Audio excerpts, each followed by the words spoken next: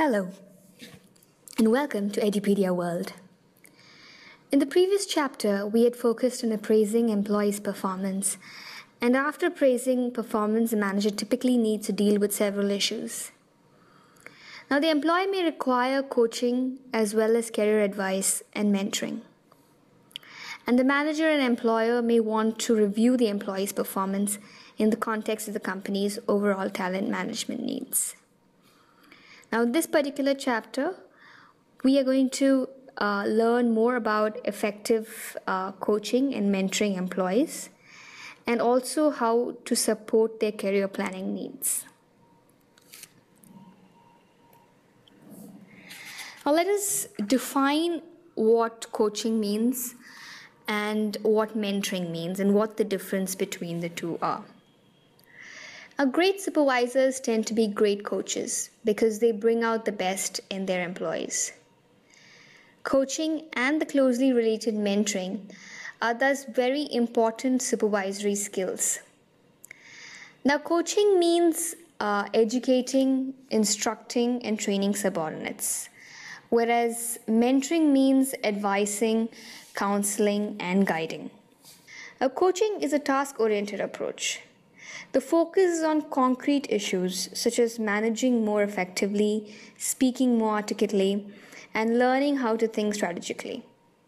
And this requires a content expert or a coach who is capable of teaching the coachee how to develop these skills. Now, mentoring, on the other hand, is a relationship oriented approach. It seeks to provide a safe environment where the mentoree shares whatever issues affect his or her professional and personal success.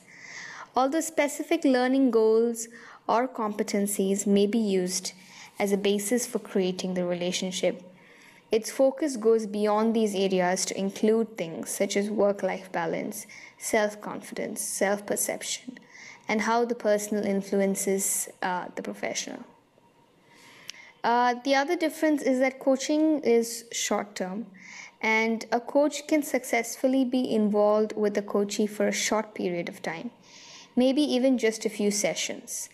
The coaching lasts for as long as is needed, depending on the purpose of the coaching relationship. Now, mentoring uh, to be successful requires time in which both partners can learn about one another and build a climate of trust that creates an environment in which the mentee can feel secure in sharing you know the real issues that impact his or her success. And successful mentoring relationships last nine months to a year coaching is uh, performance driven now the purpose of coaching is to improve the individual's performance on the job and this involves either enhancing current skills or acquiring new skills and once the coachee successfully acquires the skills, the coach is no longer needed.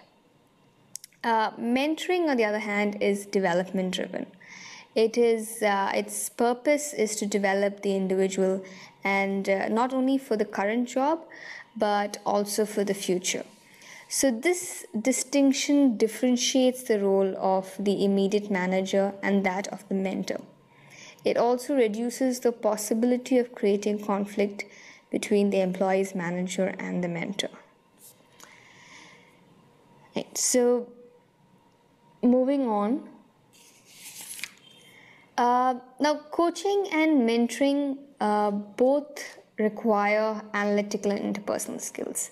And they require analysis because it's futile to teach or advise someone if you don't know what the problem is and uh, they also require interpersonal skills because it's equally futile to know the problem if you can't get the person to listen or change. So, managers rely on coaching and mentoring for some of their most important duties. So, for example, you will need coaching and mentoring skills when appraising employees, and coaching is crucial for on the job training. So we saw that many firms use executive coaches to improve their top managers' performance. And you may have to mentor a new employee to learn the ropes. And firms like AT&T assign mentors to those employees they send abroad to ensure expatriates' uh, careers stay on track while they're gone. And employers understand that coaching and mentoring are important. Uh, basically, one uh, consulting firm surveyed about 2,500 senior human resource and uh, training and development managers to see what their training programs offered. And the survey found that the top skills their firm's development programs taught were coaching a performance problem.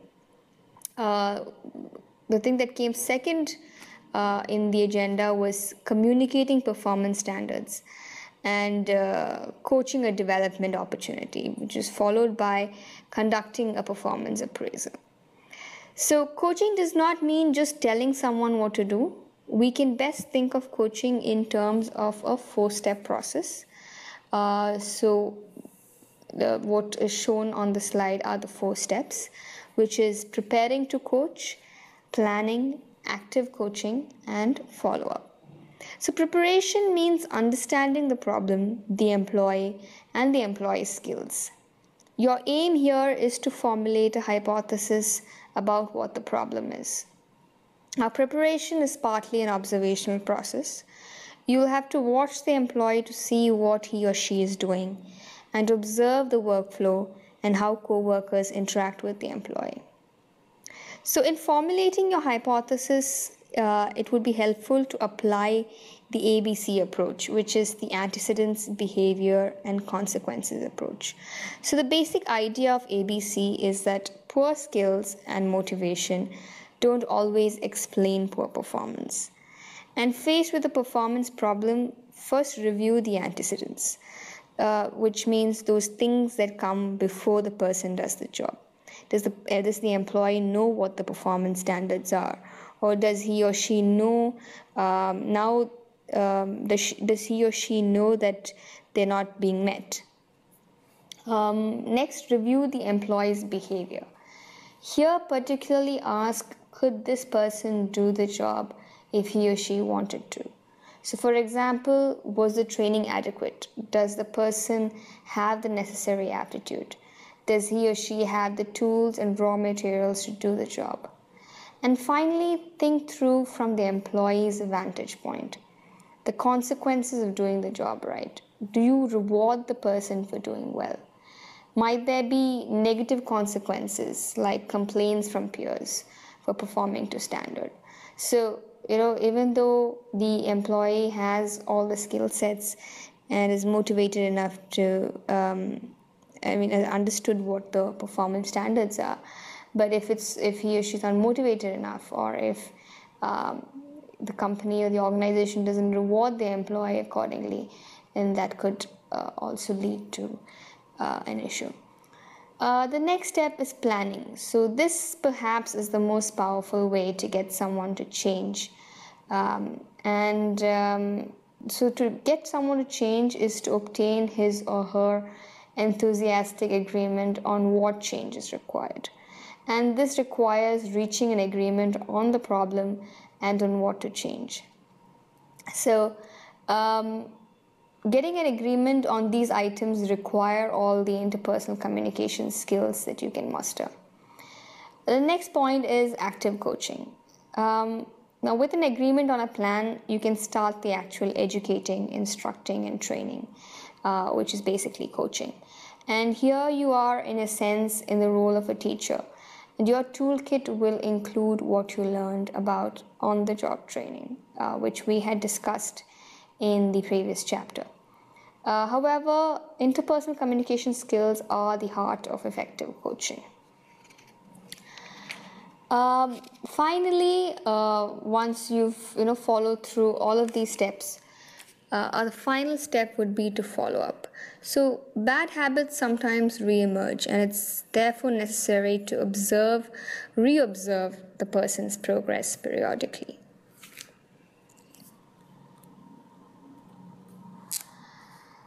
Now, moving on to uh, career development. now, uh, the, the, various roles in a career development are uh, from an individual's role, a manager's role, and what an employer's role is. So let's start with what an employee's role is. So, although the employer and the manager have roles in guiding employees' careers, no employee should ever abandon this task to others. So, for the employee, career planning means matching individual strengths and weaknesses with the occupational opportunities and threats. So, basically, everybody wants to pursue occupations, jobs, uh, and a career that capitalize on their interests, skills, and values. So, he, he or she would also want to choose occupation or jobs that make sense in terms of projected future demand, right, for various types of occupations. Because, uh, you know, there was a time where, you know, being a computer engineer or a systems analyst was a ticket to success. But then today, uh, that's no longer the case. So that is also something which, you know, employee, employers uh, want to think of when they plan their career. Um, then we have the uh, manager's point of view, right? So it's hard to overestimate the impact that a supervisor can have on his or her employee's career development. And with little or no additional effort uh, than realistic performance reviews and candid career advice, a competent supervisor can help the employee get on and stay on the right career track. The other extreme, an uncaring or unsupportive supervisor may look back on years of having inhibited his or her employee's career development.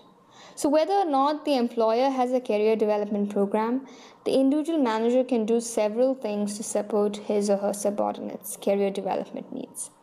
So, for example, when the subordinate first begins his or her job, make sure that he or she gets off to a good start and schedule regular performance appraisals and at these reviews focus on the extent to which the employee's current skills and performance are consistent with the person's career goals and keep the subordinates informed about how they can utilize the firm's current career related benefits and encourage them to do so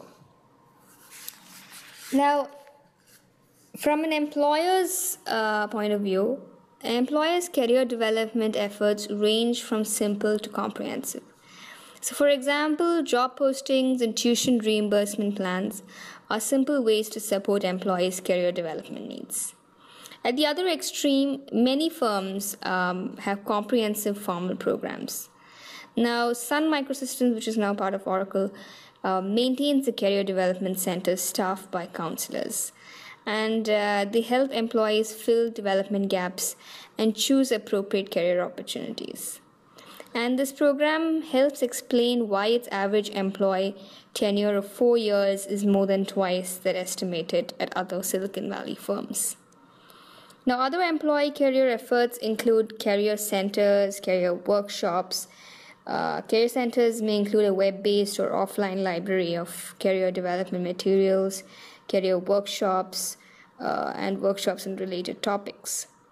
And um, Career Planning Workshops is a planned learning event in which participants are expected to be actively involved, uh, completing career planning exercises and inventories, and participating in career skills practice sessions. A typical workshop includes a self assessment, an environment assessment, and goal setting and action planning segments. Uh, now, there was a survey that uh, was done, and the researchers studied 524 organizations in the UK to determine how they use 17 career management practices. So, posting job openings was the most widespread practice, and the other top career practices in descending order were formal education, career oriented performance appraisals, uh, counseling by managers, um, developmental moves, counseling by HR, retirement preparation, and succession planning. Now, some of the most uh, innovative career initiatives. So, some of some employers out there have used um, in, innovative career development initiatives uh, and um, some of them which I'm going to just uh, speak about uh, right now. So one is the lifelong learning budgets. Uh, we had we had spoken about training uh, in the previous chapter, and uh, several employers, including IBM, now provide a 401k type lifelong learning account for their employees. And both employers and employees contribute, and the employees can tap into these to get the career related education and development they desire. Now, in Indian firms, the approach is a bit different. All the learning related expenses are generally borne by the employers. Another initiative is role reversal. Here we have employees temporarily work in different jobs in order to develop a better appreciation for their occupational strengths and weaknesses. Uh, then we have something known as organized career success teams. Uh, here, small groups of employees meet periodically to support one another in achieving their career goals. And uh, some firms are also provide career coaches. So, for example, uh, Allmerica um, Fund Financial Corp hired 20 career development coaches to assist its 850 person information technology staff. And the coaches helped individual employees identify their development needs and obtain the training, professional development, and networking opportunities that they need to satisfy those needs. And career coaches generally help employees create one to five year plans, showing what their careers with the firm may lead. And then the employer and the employee base the latter's development plans on what he or she will need to move up. another initiative was to offer online programs. So, for example, Workforce Vision, Vision from uh, Criterion Inc supplies online systems that help the employer analyze an employee's training needs.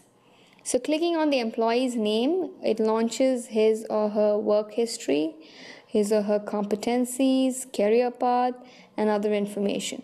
So, for each competency, say for example, leadership, right, a bar chart graphically shows a gap analysis, highlighting the person's strengths and weaknesses. And then the firm can organize developmental activities around the person's needs.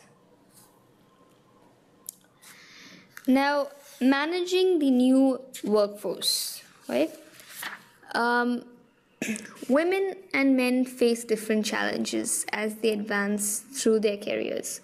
And women report greater barriers, such as being excluded from informal networks, uh, than do men and uh, greater difficulty getting developmental assignments and geographic mobility opportunities. So, women have to be more proactive to get such assignments. So, given all of this, the most important thing the employer and manager can do is to take the career needs of women and minority employees seriously. So, some of the steps uh, that uh, can be taken right uh, is one is the to eliminate institutional barriers so many practices such as uh, you know where it's required for late night meetings this may seem gender neutral but in fact it is disproportionately affects women and minority. Uh, improve networking and mentoring. So to improve female employees networking opportunities Marriott International instituted a series of leadership conferences for women, and speakers offered practical tips for career advancement and shared their experiences. So, more important, the conference provided informal opportunities over lunch, for instance, for the Marriott women to meet and forge business relationships. Another step that can be taken is to abolish the glass ceiling. So, eliminating glass ceiling barriers requires more than an order from the CEO because the problem is usually systematic. And as one expert puts it, the roots of gender discrimination are built into a platform of work practices, cultural norms, and images that appear unbiased. So people don't even notice them, let alone question them. And these range from the late night meetings mentioned earlier to golf course memberships. Uh, Another step that can be taken is to adopt flexible career tracks. So, inflexible promotional ladders, such as you must work eight years of 70 hour weeks to apply for partner, can put women who often have more responsibility for child raising uh, responsibility at a disadvantage. And in many large um, accounting firms, for instance, more men successfully logged the dozen or so years normally needed to apply for a position as partner. But few women stuck around, so fewer applied for or earned these prize positions. So, one solution is to institute career tracks, including reduced hours and more flexible year round work schedules that enable women to periodically reduce their time at work uh, but remain on a partner track. Now, moving on to talent management, which is the last phase of this chapter. So, what is talent management? Right? So, talent management is and is an automated end-to-end process of planning, recruiting, developing, managing, and compensating employees throughout the organization. Now, because uh, talent management involves recruiting, hiring, and developing high potential employees, it requires coordinating several human resource activities, in particular, work acquisition, assessment, development, and retention. In simplest terms, talent management simply refers to the process of attracting, selecting, training, developing, and promoting employees through an organization. But then again, the main thing driving talent management movement is the availability of new talent management information systems. So, this particular slide would explain more about talent management systems. And talent management is, in the sense, career management from the employer's point of view. The employee wants to align his or her skills, training, performance feedback, and development in such a way to have a successful career. The employer, for its part, wants to integrate the same functions to ensure that it is using its corporate uh, talent in the best possible way. So, if talent management is executed correctly, it can have a strategic impact on an organization. And good talent management uh, involves um, much more than simply attracting, developing, and retaining talent. The human resources function is a patchwork of several specialty functional areas of expertise, each requiring a solid understanding and discipline. And these functional areas are typically considered to be these pillars that you see on your screen. So, to manage talent successfully, all these silos need to be fully integrated and have to work together. So, at first, workforce and succession planning defines future talent needs by quantity and quantifying qualifying needs according to the business strategy of an organization. And performance management delivers an overview of the already existing talent, while talent acquisition and recruiting should close the identified gaps in the talent map, talent acquisition. Um, and talent uh, acquisition should also include areas like employer branding. Now, as a best practice, it is highly recommended that uh, companies use the support of an RPO firm for the talent acquisition, considering the specialized nature and expertise RPO providers use for finding the best external talent in a competitive market. Uh, learning and development programs should coach and train existing talent to become the future leaders of an organization who are able to use their talent to deliver excellence in performance. In line with all of these programs, there has to be an effective compensation policy, and high performance talent requires an adequate compensation package which demonstrates that their commitment and accomplishments achieved results is also being acknowledged through monetary benefits. So, we've actually discussed uh, all of these pillars uh, except for compensation management. Uh, which we would be covering in the next session. It is a huge chapter, and uh, we would have about three uh, or four sessions on compensation. So, thank you so much for tuning in, and I hope you enjoyed the session. Have a good day.